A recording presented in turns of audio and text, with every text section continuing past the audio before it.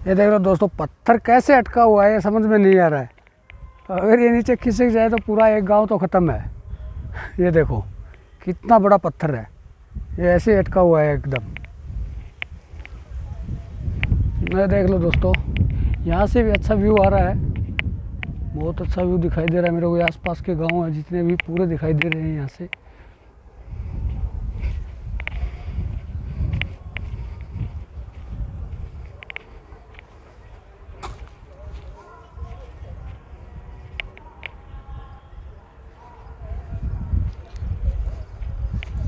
और देखो सामने में नंदी जी बैठे हुए हैं। वहाँ से होते हुए मेरे को नीचे जाना बाबू भाई तो नीचे पहुँच गया है। ऑलरेडी मेरे को फ़ोन कर रहा है और मैं वीडियो बनाने के चक्कर में अभी तक ऊपर में ही हूँ।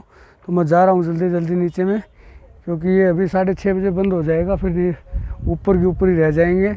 नहीं तो फिर पहाड़ के ऊपर से कहीं से उतरना पड़ेगा, जाके मालूम नहीं।